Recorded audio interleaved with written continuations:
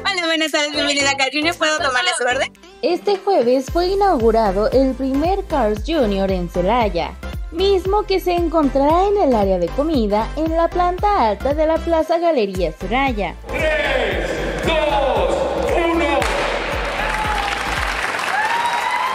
Juan Quesada, director de la División de Alimentos de Grupo Galería, señaló se buscaba abrir desde hace más de cinco años y que finalmente se volvió una realidad. Asimismo, mencionó que esta sucursal representó una inversión de entre 12 y 13 millones de pesos, que generará 30 empleos directos e indirectamente generará también una cadena de suministro con proveedores, equipos, mantenimiento, y todo lo que se genere alrededor. Eh, pero la realidad es que sentimos que Celaya, León, Guanajuato eh, son ciudades que están creciendo mucho y, nos estamos eh, muy comprometidos con, con, ese crecimiento. Aquí se contratan alrededor para un restaurante como este, que es un restaurante de formato, digamos, pequeño, están trabajando alrededor de 30 personas, 23 empleados de piso, más 5 o 6 empleados de gerencia, ¿sí? De manera directa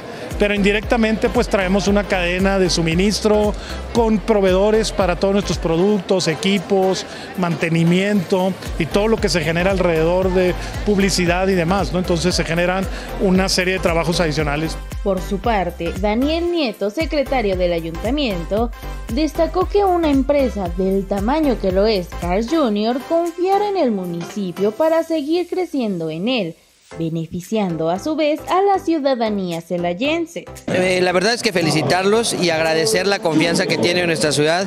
Estamos trabajando para que sea una ciudad que pueda recibir a todas estas empresas y que sea un lugar seguro, que, que fomente su desarrollo empresarial y a nosotros nos da mucho gusto tener una marca más aquí en Celaya y agradecer también a Galerías la apertura que ha tenido y pues que sigan teniendo confianza en nuestra ciudad.